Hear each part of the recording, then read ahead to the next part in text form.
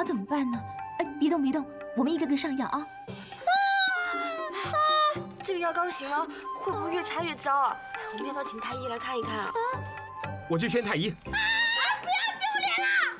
不要去找太医，都是有钱的错。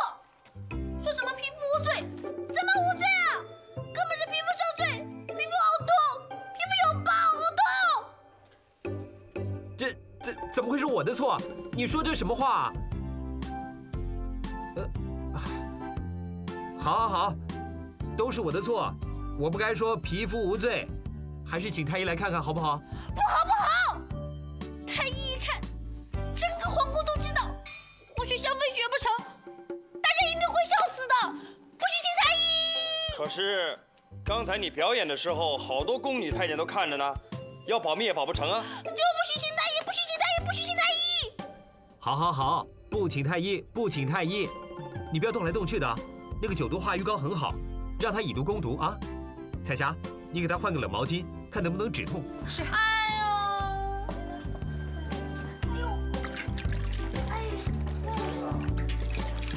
哎呦哎，怎么回事啊？香妃可以把蝴蝶引来，小燕子引来的居然是蜜蜂。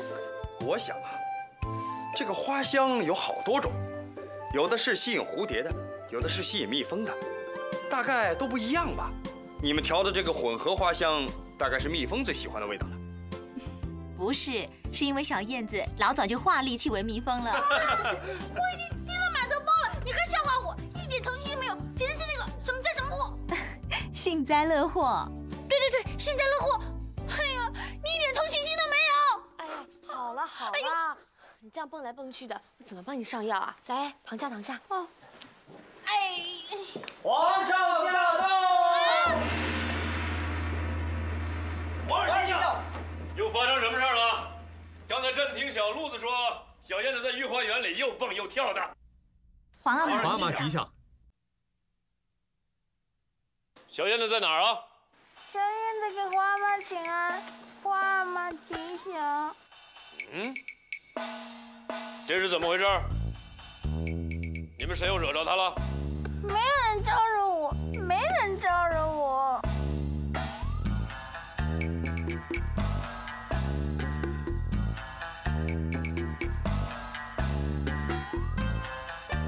那为什么又把自己忙起来啊？怎么这个毛病就一直改不了呢？嗯，快出来！不出来，不出来！出来，出来，出来！不要，不要，不要出来！紫薇，他到底怎么回事啊？皇阿玛，一点小事，请您不要追究了。一点小事，他怎么会是小事呢？现在那些宫女都在窃窃私语，说小燕子这个那个的，他现在又把自己蒙起来，一定有问题。啊，他又闯祸了，是不是？命令宰相，把把把把衣服给他拉开。是是。哥哥哥哥，哎，哥哥哥哥，出来就出来吧。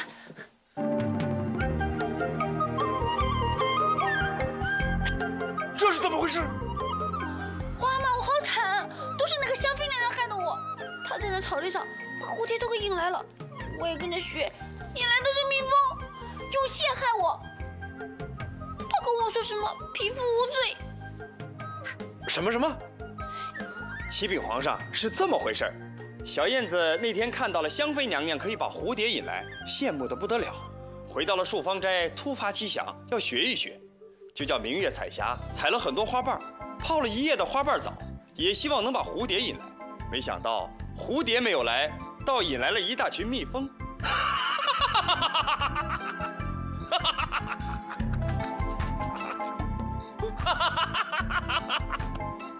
哈 原来是东施效颦的结果。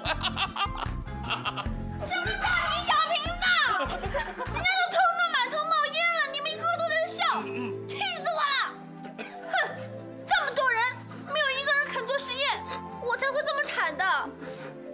那蜜蜂也很奇怪，就只剩我一个人，也不准你们。如果你们够朋友的话，明天早上去泡个花瓣澡，然后再让蜜蜂给蛰一下，这才叫有福同享，有难同当。花花瓣澡，花瓣澡，这是朕今天听到的笑话里边最好笑的一个。你真是真的开心果啊！花妈，有那么好笑吗？